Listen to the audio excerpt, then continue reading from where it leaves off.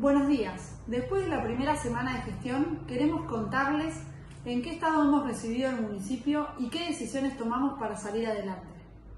Recibimos un municipio desfinanciado. Esa es la palabra que caracteriza al estado en el cual nos dejó la gestión anterior.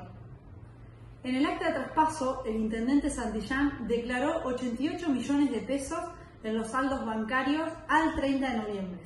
En nuestro primer día de gestión, este lunes, nos encontramos con solo 800 mil pesos.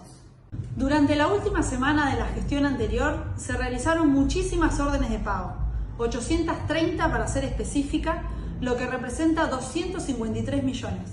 Pero el último día hábil de la gestión de Santillán se emitieron 448 órdenes de pago. Durante la gestión anterior se emitieron cheques diferidos a pagar después del 10 de diciembre, es decir, durante nuestra gestión, por un total de 79 millones de pesos. Vale la pena aclarar que el Tribunal de Cuentas, que es el organismo que controla los municipios, manifestó una resolución en la cual se prohíbe a los municipios emitir cheques diferidos que venzan después de su mandato. Los cheques diferidos emitidos por la gestión anterior nos están condicionando en los primeros meses de gestión. Por ejemplo, los fondos comprometidos que teníamos para la primera semana representan un total de 15 millones. Los fondos comprometidos para la segunda semana también representan otros 15 millones y para la tercera semana tenemos 6 millones de fondos comprometidos. Sin embargo, quiero agradecer la buena voluntad de algunos proveedores en aceptar refinanciar estos cheques, mostrando su confianza en este inicio de gestión. También quiero agradecerle a los vecinos y vecinas que se han acercado a pagar las tasas municipales que nos permitieron sostenernos durante estos días. A raíz de esta situación tomamos decisiones inmediatas como por ejemplo el control total sobre las compras, el control sobre el consumo de combustible. No habilitamos las cajas chicas para las distintas áreas municipales y además priorizamos los gastos urgentes que requiere el municipio. La gestión anterior firmó un decreto donde los funcionarios que habían desempeñado cargos durante tres años consecutivos o cinco años alternados ascendían a la máxima categoría, siendo injusto esto para los empleados municipales. Ese decreto fue derogado. En el sistema de salud nos encontramos con una situación tremenda.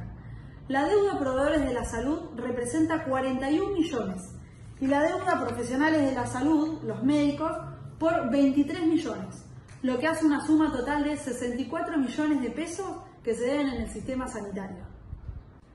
De manera irresponsable, el intendente anterior, Marcelo Santillán, firmó un decreto por el cual reduce la cantidad de horas de trabajo al personal sanitario, algo que no fue planificado y que además no contamos con la cantidad de personal profesional capacitado para cubrir la totalidad del servicio del sistema de salud de calidad. Nosotros vamos a trabajar en poder implementarlo, pero de una manera seria y responsable, planificando la gestión como se merece. Asimismo, quiero agradecer a la cooperadora del hospital por donar los insumos para poder funcionar este mes, ya que no contábamos con los insumos necesarios. Por ejemplo, no había guantes, no había placa de rayos, no había jeringas, no había gasas, entre otras cosas. Y también agradecer a la cooperadora de la Unidad Sanitaria de la Arma por donar el electrocardiógrafo. En servicios urbanos nos encontramos con 39 máquinas y herramientas, de los cuales solo funcionan 16. Y en la vial rural, 24 máquinas, contando la última motoniveladora adquirida, de los cuales solo funcionan tres camiones, tres motoniveladoras, una camioneta y una retroexcavadora. Que funcionen no quieren decir que estén en buen estado. Ante la crisis económica que afrontamos, es lamentable encontrar la Dirección de Acción Social en una situación crítica, con oficinas abandonadas y kilos de leche en polvo vencida.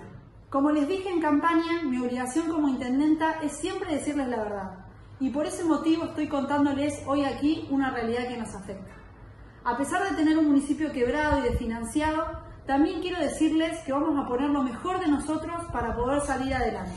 No tengo dudas de que todo ese esfuerzo que estamos haciendo juntos servirá para que todos los vecinos del distrito Adolfo González Chávez podamos vivir mejor.